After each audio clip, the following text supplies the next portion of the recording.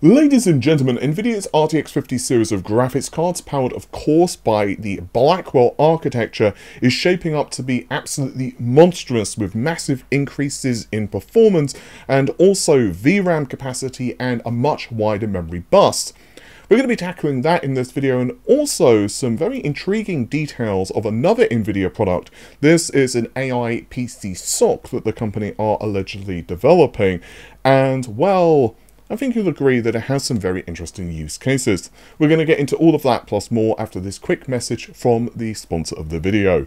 If you're running a copy of Windows 10 which isn't activated, of course, not only do you have to worry about the missing customization options, but there's also that annoying Windows desktop watermark reminding you to activate.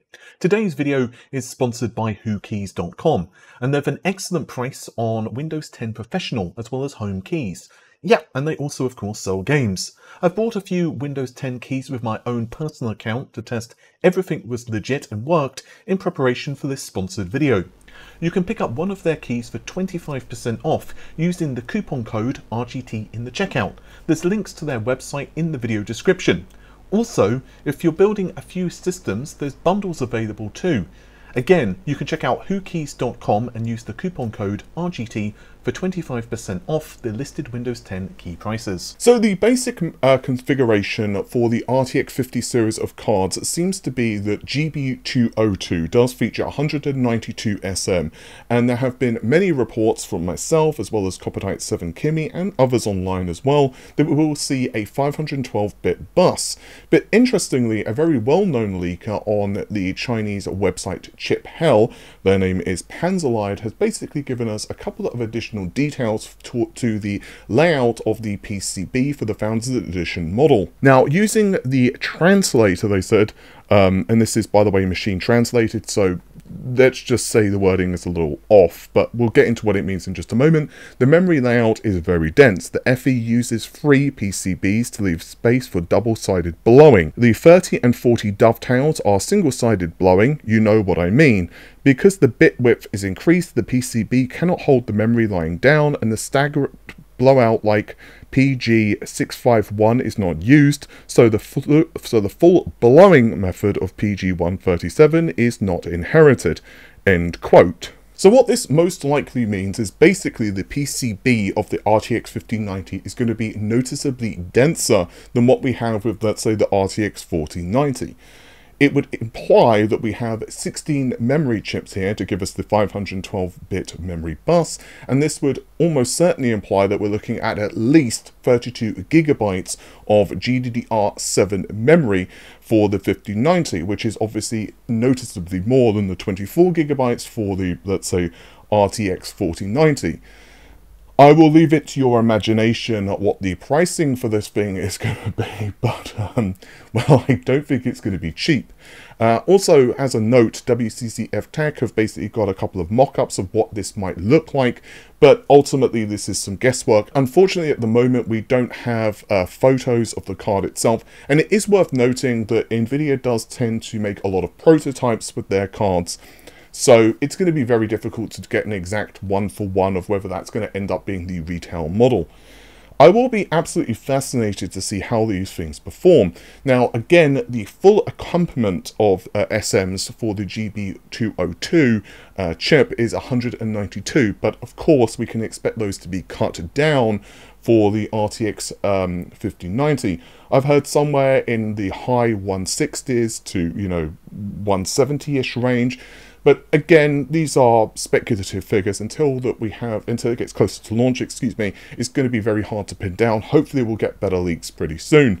I will be very interested, honestly, to see what Nvidia's strategy is and their marketing surrounding the RTX 5090 because obviously the pricing is going to be pretty key with, let's say, the RTX 3090, if we go back a couple of generations, uh, the RTX 3090 was never marketed towards gamers exactly, it was more like for content professionals, and the RTX uh, 3080, meanwhile, of course, that was the card that, well, most gamers were looking to purchase, and obviously you only had 10 gigabytes of RAM with that.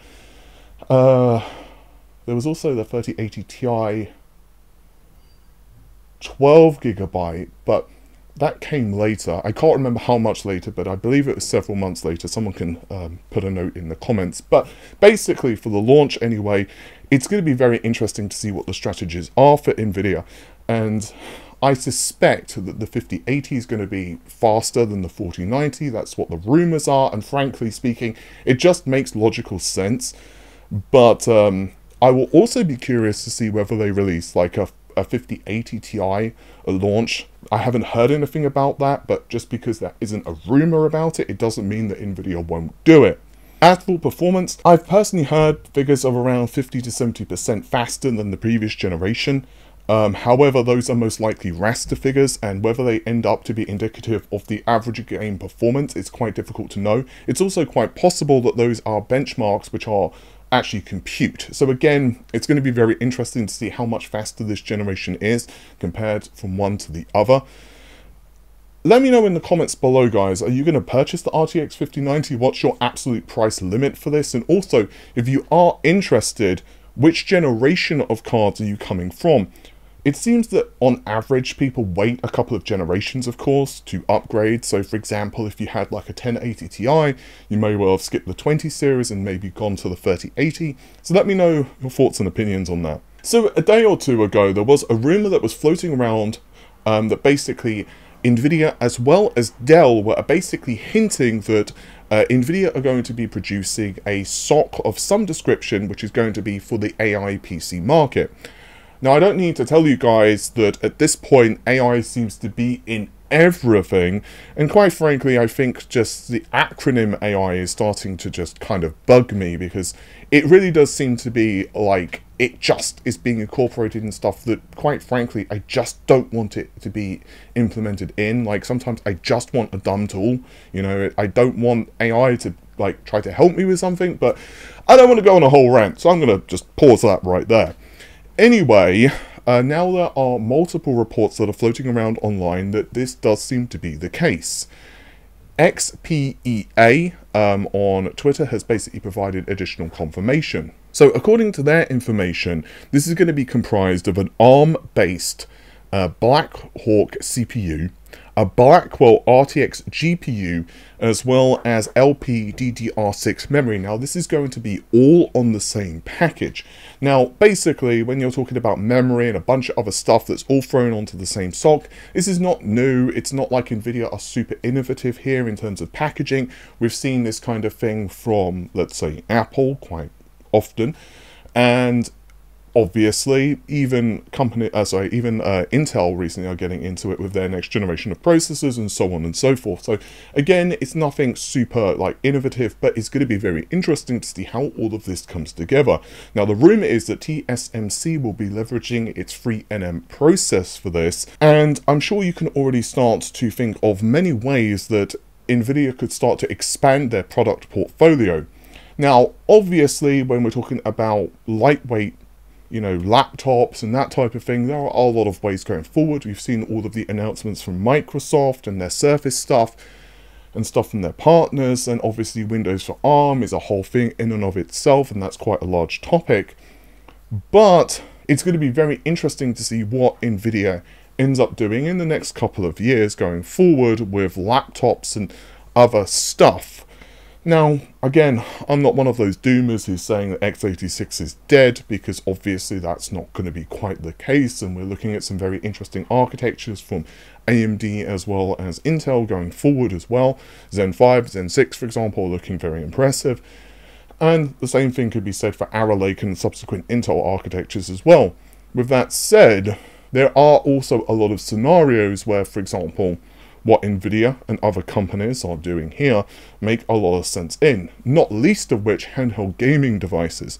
Now, as I'm sure most of you know, Nintendo um, basically have a Maxwell-based uh, kind of SoC in the uh, original Switch, and the rumor is, of course, that we're going to see Nvidia once again provide the IPs for the next generation Switch, whatever that ends up being called.